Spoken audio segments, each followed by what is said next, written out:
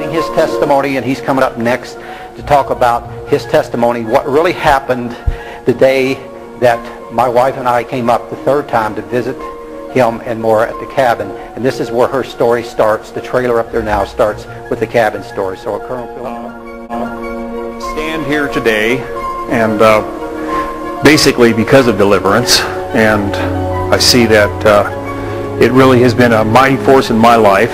And I know that for uh, the last 26 years that without that ministry in my life, I know I, I wouldn't be able to make it as a Christian. And that may help a lot of the people that are listening to this that you do need uh, to get into combat. You need to get into spiritual warfare. You need to uh, realize that you do have problems in your life. And when you do have problems, a lot of times it is demon forces. And that you have to tackle those things.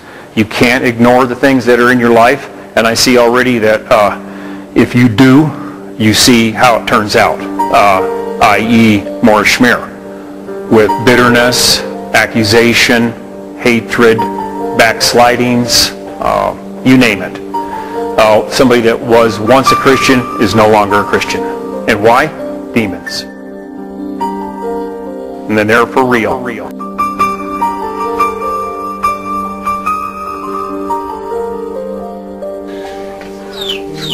But what do you got to say for yourself, honey? Oh, God. Oh, get serious. Here they are. First thing in the morning. So, getting on with the story, um, originally when uh, we met uh, General Jim, uh, he came up to where I was living in a cabin and the first time, and I was, I was basically down and out.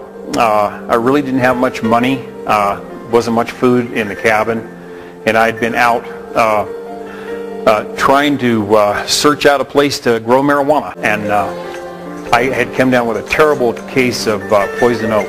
And so he showed up. And when he showed up, I was just laying there, actually on the concrete floor. I couldn't even get up. I couldn't even move. It was I was so bad with this thing. And so my first impression was, uh, wow, he's just coming up here to help help us. You know, like what? You know, like because I had really a, a, a, hard case against Christians myself because I thought most of them all were hypocrites. So uh, my first impression was, wow, this guy's really for real. You know, like, you know, I'd heard about uh, General Jim before back when I was a hippie in Grass Valley and he, when he first got saved and he was writing letters to all the different people that he knew about Jesus Christ and about getting saved. And I remember seeing one of those letters and I remember wondering, God, is this thing really real? You know, and I was about 21 years old at the time. And I thought to myself, God, could this be true? You know, you know, Jesus can really do this in your life.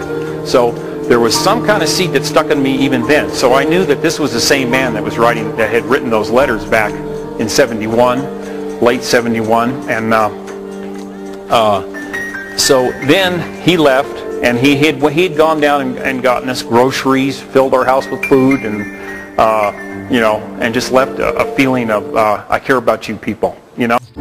And so he left, and then he came back again, and this was uh, after we uh, had had a birth at the cabin, and uh, we had a little girl, and her name was Lily, and she'd gotten pneumonia contacted pneumonia within a week after her birth. And we, at that time, we didn't go to doctors ourselves, and we lived uh, out. And we didn't we didn't do much uh, communicating with anybody.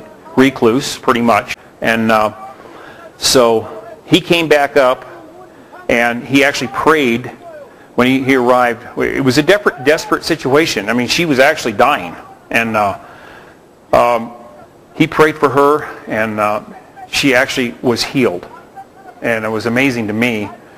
I mean, within a day or two, all the, the pneumonia snot cleared up, the lungs were free, and I was just like, I, I begin to really wonder, boy, this Jesus, this Jesus thing, you know, I'm missing out. I'm missing out. You know, like I really want this thing in my life, but what, what's the matter with me? How, you know, I, why am I not jumping into this thing? Because I had I had tried to be a Christian two years before that, and I had uh, attended a Bible study, and I was I was interested in, in Christ, but I had never really uh, made a confession and gave my heart all the way.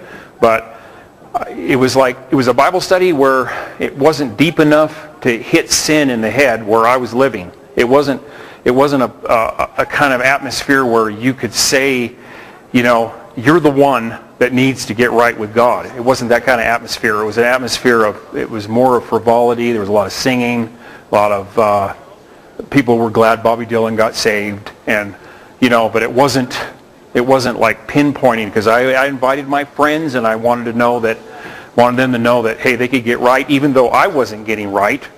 I wanted them to know they could get right. See, this is how it works when God, when you, when you're, when you're bypassed and you're around Christians that aren't really preaching against sin or against the things in your life that are really, really uh, causing you bad trouble. So I tried. So I had that thing in my heart the whole time. I was backslid. I knew that I wasn't right. I knew something was the matter with me, and I knew I, I couldn't get clear. So the third time that they uh, came up, this time uh, General Jim and General Deborah, they came up to the cabin, and uh, when they arrived, I remember nothing was talked about as far as, you know, spiritual things, and nothing was pushed on me, especially. Uh, they came, I remember they brought food, and uh, we sat down, and we had a, a dinner in the early evening, late afternoon, and we talked about small things, and they brought their kids, and that we, we, we had a few kids there, and they played together, and I remember the atmosphere was, you know, it, it wasn't real tense, and uh, it was, and then evening came, and then we decided to, we'd go in the other room. The cabin wasn't very big. It had one little kitchen, and then it had another room, and then it had my, my bedroom in the same room as the room, around a, a wall, and then it had a loft up above. And so it got to early evening, and so I remember uh, uh, sending all the kids up to that loft, and I remember they were up there, and uh, I went and sat down on this couch, the only piece of furniture I owned, and uh, I bought it from the store owner down in French Gulch.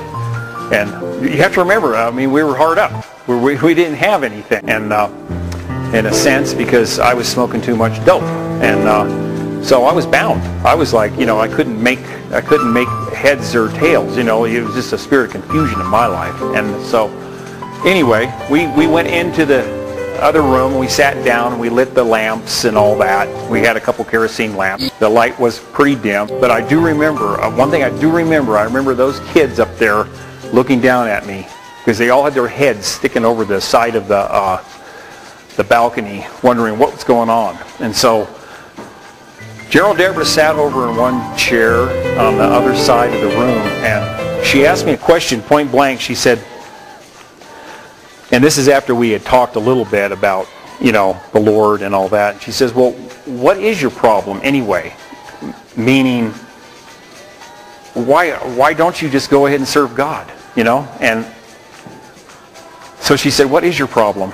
And I looked over that at her, and I, all I could do was just start welling up with tears. I started just crying. I, I, I couldn't answer other than, I, I don't know, you know. And, and then I just started weeping. And I'll tell you, uh, for, for me to weep, I hadn't, we, I hadn't wept since I was 10 years old and my favorite dog got hit on the highway up at a cabin that we had. That's the last time I remember that I wept was when I was 10 years old. So I was really blocked up inside. You know, there was there was nothing moving in me. And I actually, when she she said that to me, I just started weeping and weeping and weeping, and nobody was saying anything. They were just watching me. And then by the time uh, a few minutes went by, I was I had basically slid down on the floor in front of the couch, and I was just laying there, just crying in a pool of tears you know, and me not knowing what, what was going on other than I felt the Spirit of God. I knew it was the Spirit of God. I knew something was happening to me. I knew I was being, at that time, uh, converted, you know, into His kingdom.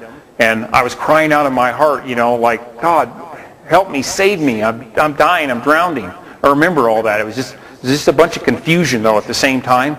And then, I mean, their response would be like anybody else's response, would be to come over and see if I needed any help. So they came over, and as they came over, and they, they started praying for me, uh, I started getting deliverance. And it wasn't anything that anybody had planned or anybody had said or that this is what we're going to do. This is what we plan to do. This is before we had even got into the deliverance ministry, had anything to do with spiritual warfare. I didn't know anything about it. I honestly was dumb to the, even though I'd gone to those Bible studies before and all that, nothing, nothing like that was taught. You know, that you had enemies and, you know, the devil was really after you. And so well, I want to tell you a little bit about my life. Uh, it was about a little over five years ago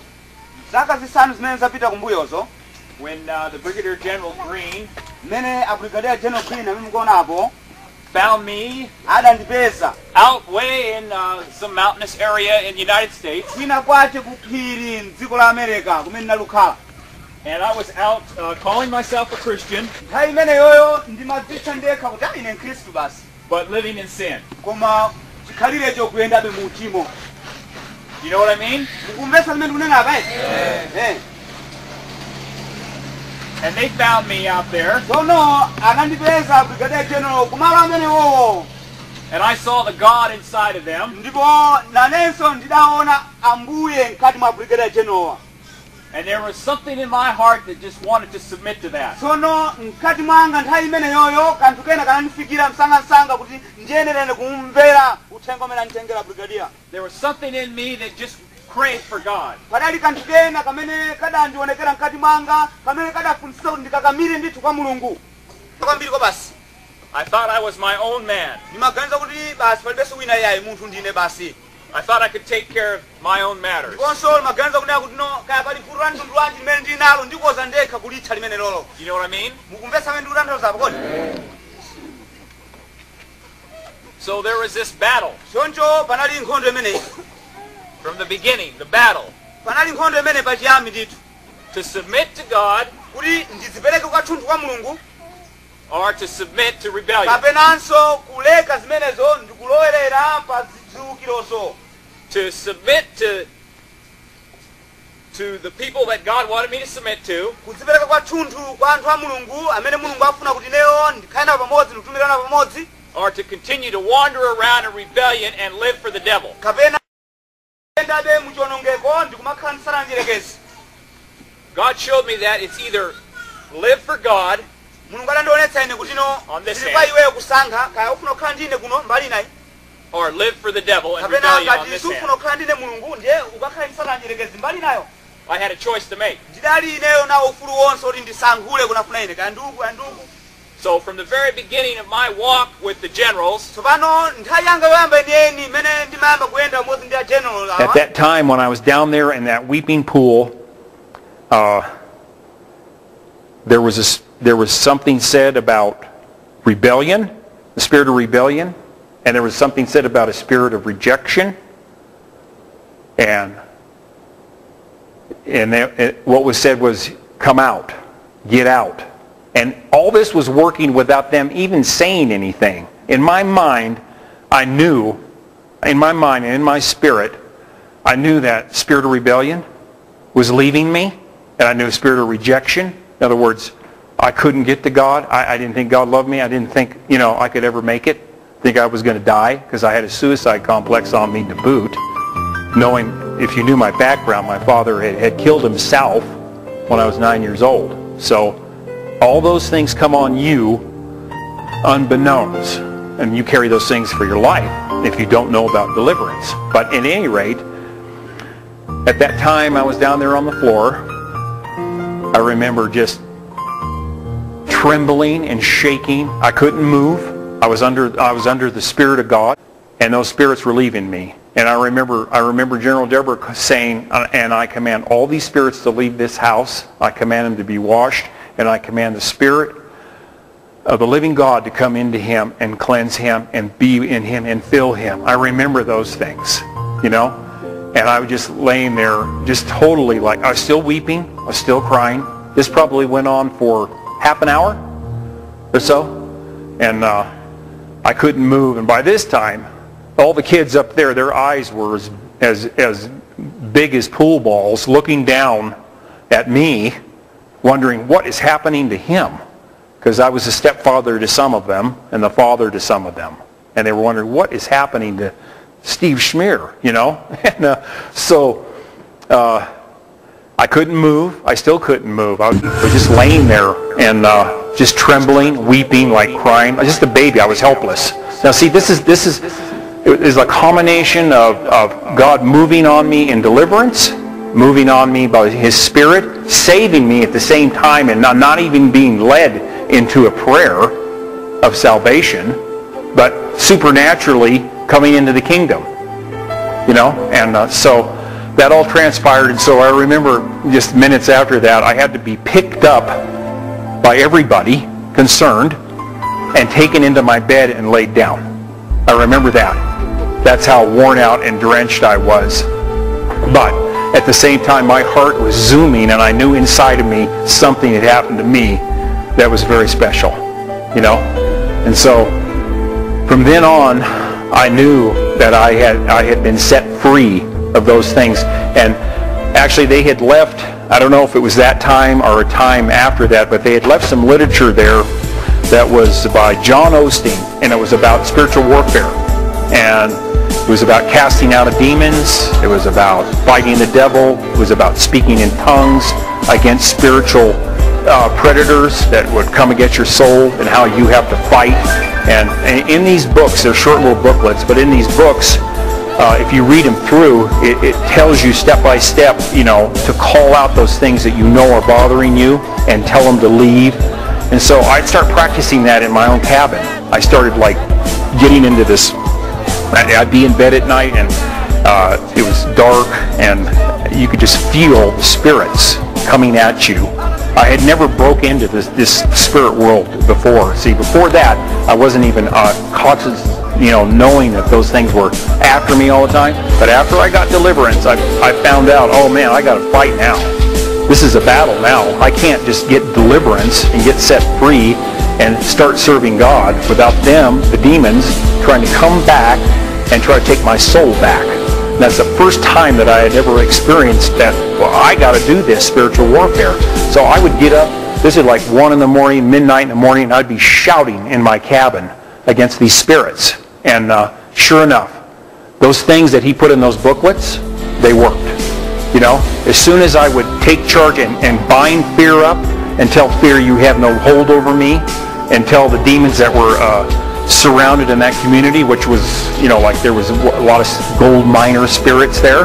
There was a lot of these these people that had been there in the previous, because it was a gold mining area. And they left all their demons there in the land, and uh, so they they would come and attack me, and that's that's where I first learned the spiritual warfare. And then everywhere I went, I told this testimony, the same testimony I was telling you about uh, my deliverance at that cabin. I, I told that testimony to everybody I met, everybody in the community, from the old people, young people, the store owner, the restaurant owner, anybody I worked for, all my ex-friends who weren't my friends anymore because I was preaching to them and telling them about my deliverance. And they didn't want to hear that. And so uh, eventually I was able to move out of that community and, uh, you know, uh, moved down to Sacramento, which was a, was a godsend because uh, where we were living was a place that we had to get out of because of the influence that was there. It was nothing but a drug place, nothing but a marijuana growing place. Uh, you know, it was a place that, that I needed to get out of. And uh, we need to take heed here because uh, once you do get set free, you need to stay away from the things that brought you into that bondage to start with. You can't hold hands with them at the same time and expect to be free. So me leaving that place was a great freedom.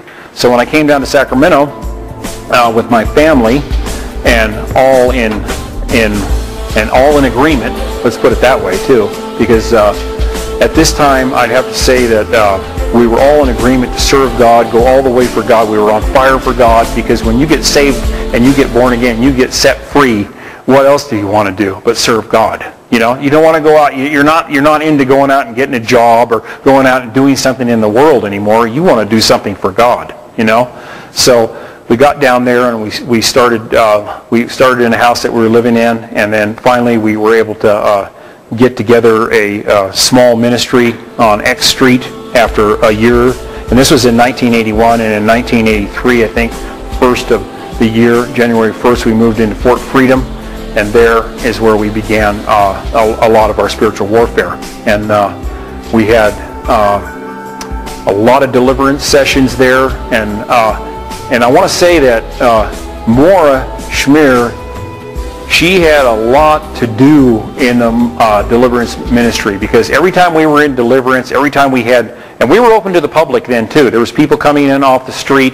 we had our place right there on X Street, and she was right there many, many times, laying hands on people, uh, commanding demons off of them. We would all we would all actually work together. You know, uh, a lot of times she would work with some of the women, and I would work with some of the men, or I would work with General Jim, and uh, that's that's the way that we we did things there. We would uh, people would ask for deliverance. We'd call out the, the the demons, and they would start coming out because that's that's what being a Christian is all about. Half of Jesus' ministry was casting out demons. That's, the, that's really what it was. So you can see that she herself had a lot of experience in knowing, you know, what it takes and what spiritual warfare is all about. Now, why, why she's in the place she's in right now is because she didn't take heed to her own self. Because once you get into spiritual warfare, the enemy is after you to take you down. And this is why you don't see very many uh, deliverance ministries today. Because nobody's willing to fight the battle. No one's willing to fight, you know, what it takes to stay and, and knock the enemy out of his place and out of people. It takes the power of God within you, the power of Jesus that's working in you to get those things out of other people. You can't just come and cast demons out of somebody just to cast them out. It's got to be in the name of Jesus if there's any power in it at all. So she she knew full well and, and uh, you know what was happening to her, and she knew that uh, she wasn't facing her her life and her issues. I mean, because you know a lot of times I imagine she would dodge the fact that, you know, her recognizing that she had any demons, that what she had just as many as me because we came out of the same lifestyle of, you know, the early, late 60s, early 70s hippiedom, you know, which, I mean, that just stacks you full of demons, you know, all that, all that, all that hippie lifestyle, you know, all that whoredom, all that, all those uh, illicit love affairs, all the, you know, the nasty, kinky things that are in those, those areas. And God has set us free. He set me free of all that, all those things, you know. Now, what, I, what I'm saying is you can return to the vomit you came out of. Or you can go into God, you know, and continue to get cleansed. Because this is an ongoing thing. Deliverance has always been explained to me, and I see it clearly now. As it's like an onion skin, right? You, you, you keep peeling it back, peeling it back, peeling it back, and that's how it is with with human beings. God keeps digging into you, digging into you for your own good to cleanse you, that you will be presentable to Him and pleasing to Him. That's the whole idea, you know. And so when you see her from, from the place where she's at now coming against the very thing that actually set her free and actually set her, got her out of this dismal, ridiculous, sickening little shack cabin life that I would call it. I mean, it was just ugly, dirty. It's not what you think. And it's not, it's not anything that's portrayed in this new video that they're putting out. It was a shack, not a middle-class cabin in Lake Tahoe. You understand that? It's all a put on, you know? So she was happy, happy to get out of there for something better because all that God was offering to us was better, you know, and especially coming in contact with uh, with uh, Jim and Lila, I mean, uh, I mean Deborah, that we we were happy to have somebody around that was sane, that you know had been a Christian for a while, that could tell you, you know, the do's and don'ts, you know, that could actually direct you, you know. Now, don't you as a Christian, I mean, want some direction, you know? Or do you want to do your own thing, carry on your own life, and be like Maura Schmier? End up bankrupt, ended up in accusation, ended up not, not, even, not even in the kingdom of God anymore. Can you imagine that? You know, after everything, like I told you before, I stand, I stand here really on, on a ground of gratitude. And I, I am so thankful. I, I can't tell you how thankful I am that Jesus Christ could even reach down to me and say, I, I'm going to set you free. You know, I heard the cry of your heart. I know, I know what you really want. You don't know what you want, but I know what you really want. I know the cry of your heart. I can set you free. And he, he actually had done that for me. And he's continuing to do that for me.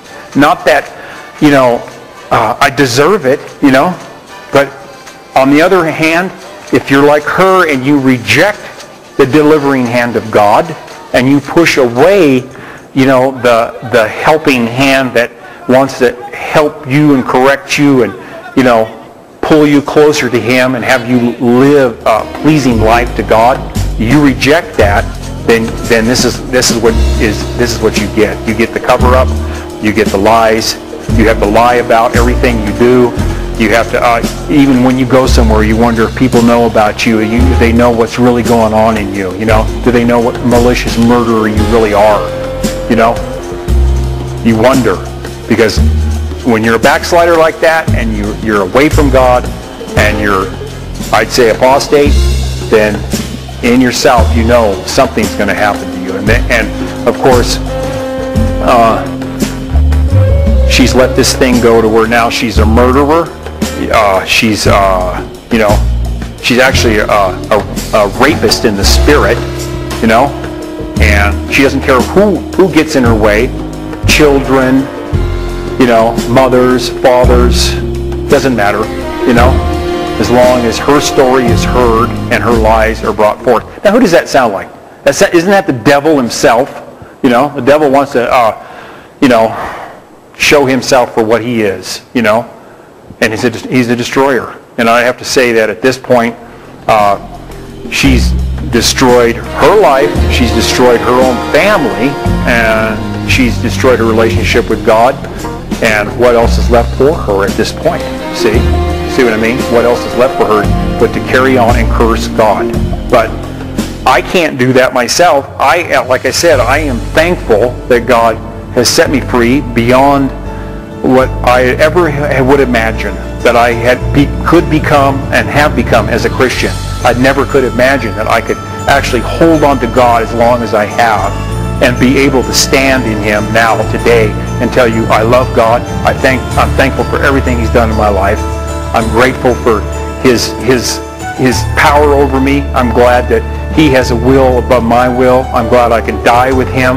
I'm I'm hoping, you know, in my years that are left on this earth to tell as many people as I can that Jesus can can deliver you and he can help you. He can he's the only one. And uh, you know, she's just the antithesis of that to the other extreme. You see? And it's all because of her choice. And, and so to finish this off, that demons have personalities. And you think you're somebody that you may not be. And if you get deliverance, you're going to find out you're somebody else. And you're not who you thought you were.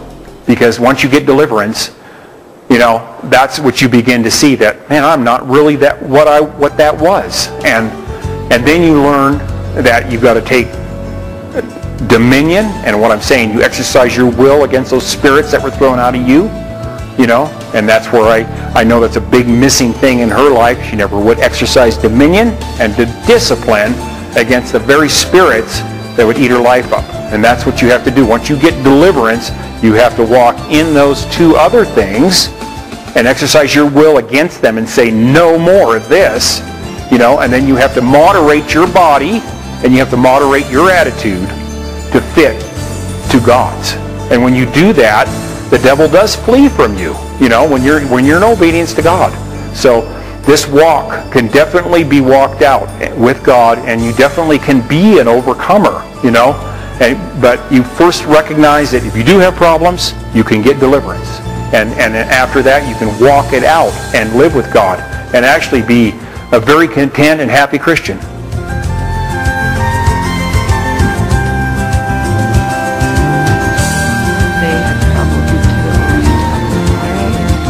And of course, having come from a whole experiential lifestyle, really attracted Steve.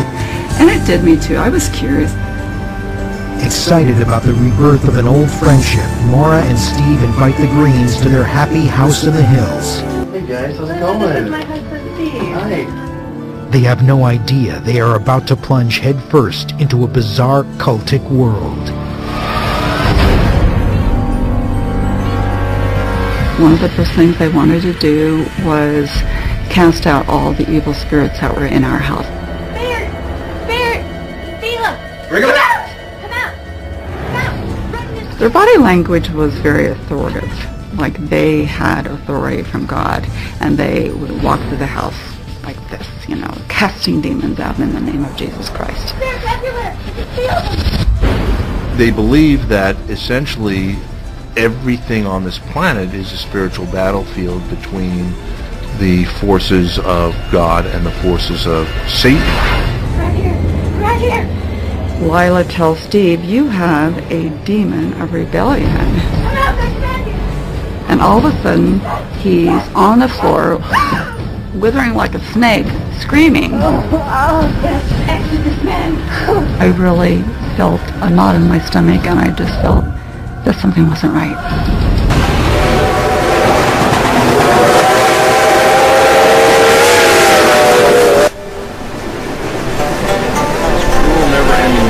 For the other sex, for different men, both young and old, was to lead her final downfall. We were all in our regular teaching meetings one evening. We were in praise and worship to God, lifting up our hands to God in thankfulness. Right after the praise was over, God had a word that someone in the meeting was lifting up unholy hands. It was a shocker to us all. In the rest of the meeting, God was searching us out. There was a very uneasy feeling. Later that night in our house, she admitted to me it was her. She said she had been masturbating in our bathroom for who knows how long. It was just the tip of the iceberg as to what she was capable of. Here is a mother of five children, a supposed dedicated Christian, masturbating to all her sexual fantasies. I told her to confess her sins to our leaders. The next day she went up to our leaders to tell them about her sin. Instead of confessing her sins to them, she fell down on the floor and began to crawl like a reptile. It was a demon manifestation of all her sexual perverseness. Over the years she had demons, no doubt. It was so vile and disgusting. She was showing her true colors. The Big